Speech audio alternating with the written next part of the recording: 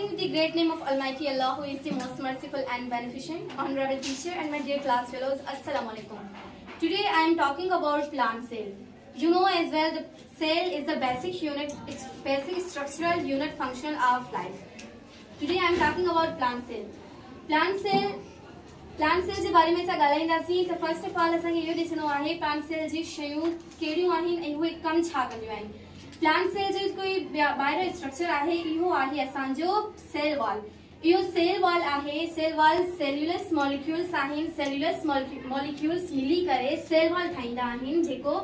जी protect कंदो आहे. ऐं उनखां अंदरि लाइन आहे उनखे चइबो आहे सेल मेम्ब्रेन उहो सेल मेम्ब्रेन उहो वर्क कंदो आहे प्लांट सेल में. जीअं अगरि कोई हिते अंदरि हिकिड़ो मॉलिक्यूल आहे उनखे ॿाहिरि अचिणो ऐं ॿाहिरि हिकिड़ो मॉलिक्यूल आहे उनखे अंदरि अचिणो आहे, उन जी सेल मेम्ब्रेन जी मदद सां उहे अंदरि ऐं ॿाहिरि अचे ईंदा आहिनि ऐं उनखां पोइ असां ॾिसंदासीं हीअ वॾो हीअ आहे वैक्यूल वैक्यूल उहो आहे वैक्यूल प्लांट सेल जे अंदरि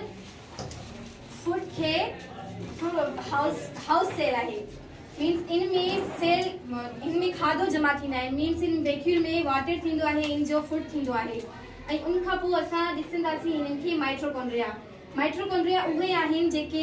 एनर्जी ॾींदा मीन्स जॾहिं असां खाधो आहियूं, असां अगरि को वर्क कंदा आहियूं, असांखे एनर्जी खपे. उहो एनर्जी प्रोवाइड कंदो आहे माइट्रोकॉन्ड्रिया. ऐं असां न्यूक्लियस इहो न्यूक्लियस आहे न्यूक्लियस हिन सभिनी शयुनि खे कंट्रोल मीन्स जॾहिं असां असां कोई कमु आहियूं, अगरि अॻियाँ कोई बाहि अची वञे थी,